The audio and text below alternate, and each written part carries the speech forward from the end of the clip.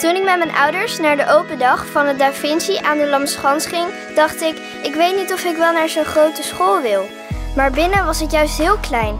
Elke klas heeft een eigen at home. Dat is een eigen omgeving voor je klas, waar je bijna de hele dag les hebt. Die at homes zagen er onwijs gezellig uit. Het lijken allemaal kleine schooltjes in dat grote gebouw.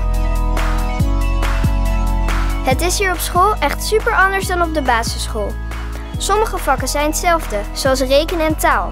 Maar je kunt ook kiezen voor extra sport, kunst, theater, muziek, dans of techniek. En we werken heel veel aan projecten.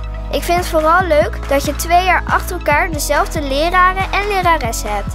Die kennen me tenminste en hebben veel aandacht voor me. Je komt hier op school in de eerste in een klas voor basis- of kaderniveau. Maar ze starten ook een echte MAVO. Pas in de derde kies je de richting die je het leukst vindt. Welke dat is, weet ik nog niet. Ik mag gelukkig nog een jaar van alles ontdekken.